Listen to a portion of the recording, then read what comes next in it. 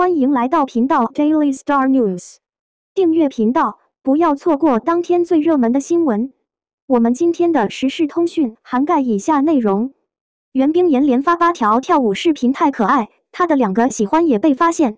虽然自袁冰妍走红后，各种吐槽、抨击便如影随形，但始终有一群粉丝相伴其左右。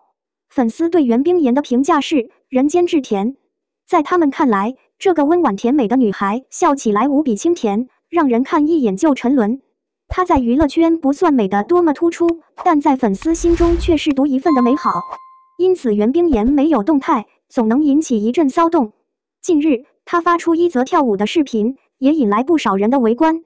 袁冰妍背靠疑似机场的位置，对着镜头大跳舞蹈，姿势有模有样，虽不算多么专业。但整体下来流畅自然，十分可爱。袁冰妍戴着口罩和帽子，全副武装，仍不忘跳上一曲，可见对舞蹈的喜欢。有网友发现她已经连续发了八条跳舞视频，可以说是舞蹈真爱粉了。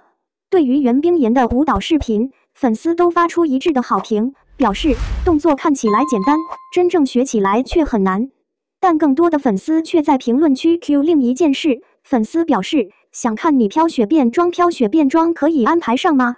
作为时下颇为流行的飘雪变装，除了网红，不少明星也都曾挑战过。很多粉丝都期待爱豆能够出一个，袁冰妍的粉丝也不例外。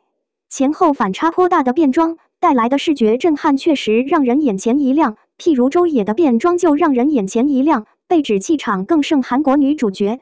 除了催促袁冰妍赶紧出一个飘雪变装视频，粉丝还发现袁冰妍的两个喜欢，在喜欢一列，袁冰妍点赞了两个视频，一个是夺宝联盟中全智贤的换装镜头，一个是则是老奶奶卖菜的视频。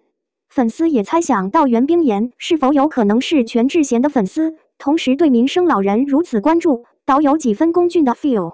龚俊走红前就被扒出屡次分享帮助弱势群体的动态，被赞热心市民。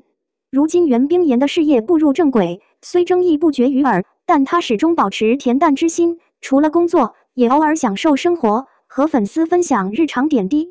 没有大红大紫，但一直在努力的路上。有不喜欢他的人，但更多的是陪伴他的粉丝。相信他一定能走得更高更远。